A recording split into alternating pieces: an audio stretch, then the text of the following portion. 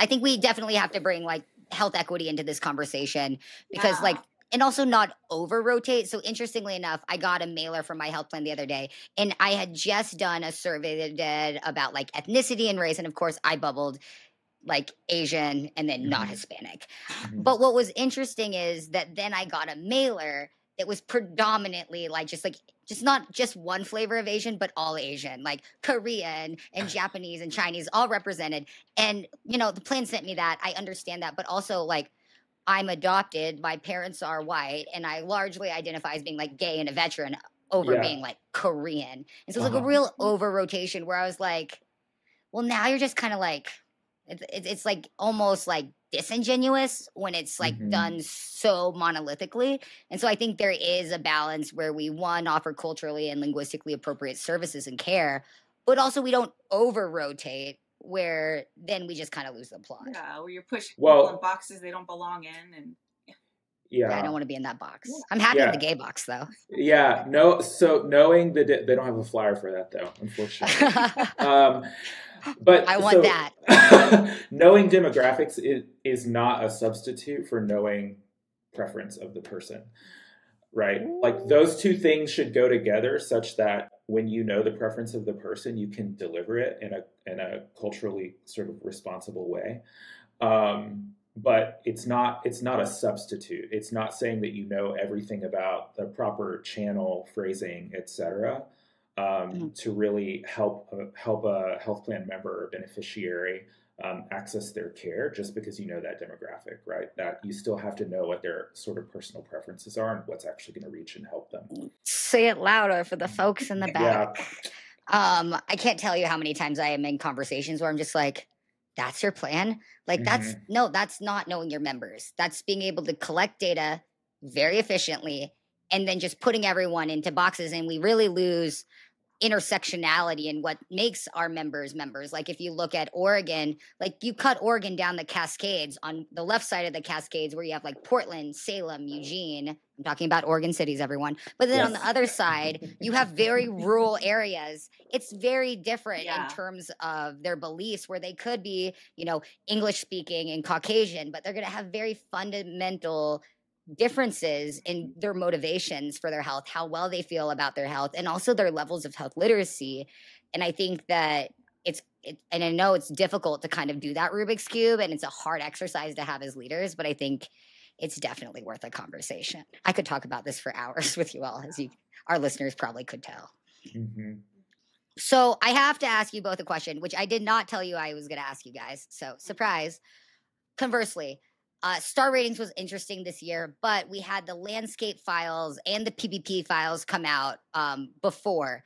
And so, in looking at the data, 7% of the Medicare Advantage market is losing their plan in 2025. Mm. So, all these plans made investments in star ratings. Maybe your star rating went up, maybe it went down, and maybe you exited a market and maybe you didn't. And you might be gaining members, which we refer to lovingly sometimes as adverse selection which I don't like the name of that, but we say it all the time, like ER deferment and things like that. We're, we're not supposed to say, but sometimes mm-hmm. we still say them. But what is that going to do as we look forward to like next year? Um, and you know, the members that are going to be coming to the plan, I did a fun little exercise that I'm almost done with of mapping the uh, markets that exited either by a service area reduction or just by terminating a contract to area deprivation index because I have a strong hypothesis that some plans that are exiting are actually in the areas where members desperately need a Medicare Advantage yeah, plan. Yeah. So, what is this going to do to stars? And we've just been talking a lot about health equity. What are your guys' thoughts on, on what we're looking at for next year? Nate, Nate's face says it all. I, listen, people uh, people are making business decisions about service areas and benefits. Uh, and about you know they're they're looking county by county at different profitability metrics and things of that nature. Um, I, and we can understand why they have to do that um, at, but also go through sort of the thought experiment of what you're doing jen and saying but what are the downstream consequences of that? What are the variables that aren't making it into that analysis where um, there are needs of specific communities that will it will be even harder for them to meet um, because companies feel like they have to make these business decisions. That's not an answer, but I, you know, yeah, yeah, that's fair. I think like you know, I'm just like, just like I don't want to say concerned. I don't want to like be like the person that's always like wringing my hands, but I as we think about like you know, SNSE that's like currently on display we think about like you know in cms has indicated that looming Haas measure that really ties to SNSE with like mm-hmm. not only did you get an intervention but how'd you feel about that intervention and also right. as we transition into this new reward factor health equity index i can't help but thinking yeah it i don't want to say short-sighted but i want to say like what is the plan folks mm-hmm. what's the plan mm-hmm. it's an investment I don't know if there. I don't know that there's a, a plan, a long term plan. By and large, don't say that. I like going to bed at night thinking some there are some people that have the plan and maybe I just haven't seen it. I didn't say nobody has a plan. I just I said by and large, I'm not I'm not sure that that's making it into the calculus yet, right? Because that's oh gosh, that's uh, even though it's already happening, right? That's a year down the road, but um, uh, yeah, uh, you know, we see seven. So right, seven seven contracts at five stars. Yeah. Right. So the the upper end of that distribution kind of like shifting downward. Um, there is still a hold harmless provision to bump that up. Uh, right to only plans that are already at five stars. I mean, you do that now, right? When there's fewer plans than ever in that five star range. Yeah and then you're knocking the four and a half star plans you know down even more and also impacting some of the four star plans right to save that qbp revenue um, i don't i don't i don't broadly sense a plan a consensus across the industry consistently across parent organizations to deal with it even though everybody knows it's happening and it, that it's that it's coming I, I don't know if there's a I didn't put thought to whether someone I assumed there was a plan. I, I never it didn't enter my mind that there could not be one.